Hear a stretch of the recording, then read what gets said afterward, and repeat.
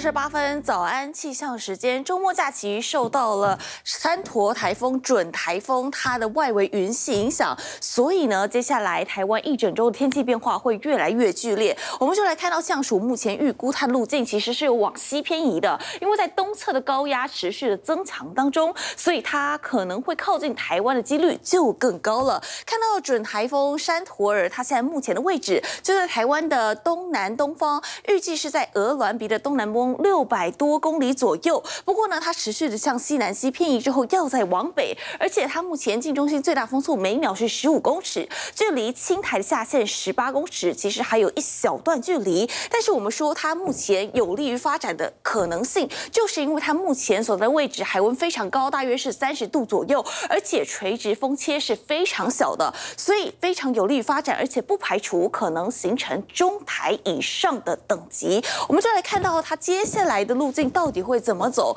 其实现在各国路径都还是有一些分歧的状况。看到美国模式，它是从东部海面往北移动，但是我们看到欧洲模式最新一报，它可能会从屏东登陆之后再，再往宜兰的方向再往东偏移。虽然说各国模式预估都还是有分歧，不过整体趋势就是由南往北，会不会登陆，我们都还要持续来做观察。但是我们说它接下来的雨势可能会非常的大，因为呢，它在经过台湾东部海面的时候，它的外围环流整个是逆时钟的方向，再配上了东北风，就会形成共伴效应。所以我们说，在礼拜一到礼拜三，整个雨势就会非常的剧烈尤其是在整个北台湾以及在中部的山区，不排除到达豪雨以上的等级。我们要提醒观众朋友，现在开始就可以渐渐的做一些防台准备，以防接下来一整周雨势变化过于激烈。以上就是这节的气象资讯。